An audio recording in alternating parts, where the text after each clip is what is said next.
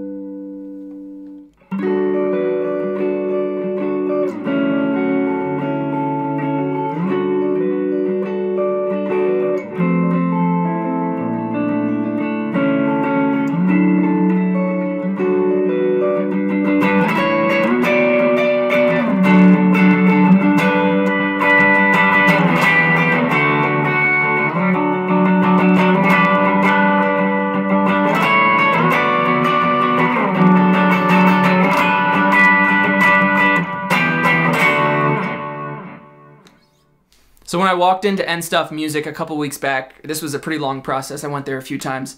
Um, I basically told the salesperson I was just looking for a single coil type guitar, something that resonated well, felt comfortable, and was inspiring for me to play. And after playing a lot of different guitars, I ended up with this one. Years ago, I tried, not years ago, like a year ago, I guess I would say, I tried a PRS Silver Sky that blew my mind, and it made me want to Strat again. Um, and ever since then I've played a bunch of Silver Skies and they haven't really lived up to that first memory I had of, of the one.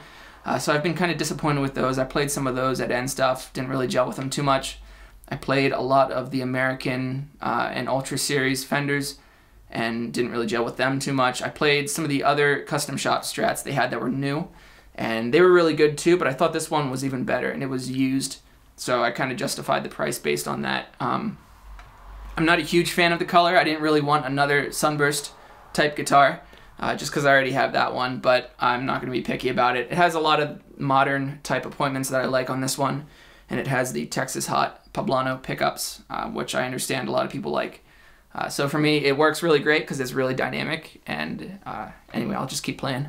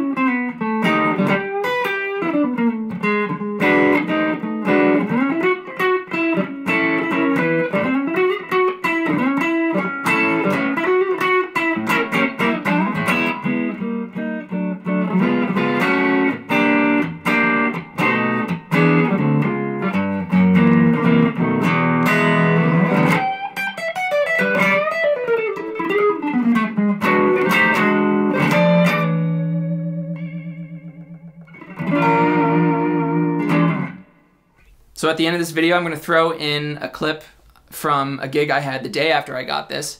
It was my first and probably the only gig with the Inner Urge this year. I got in the car with a friend of mine from Pittsburgh. We drove down to the city of Lancaster, Pennsylvania, met up with the other two guys in the band, and we got strapped into the back of a flatbed Penske truck.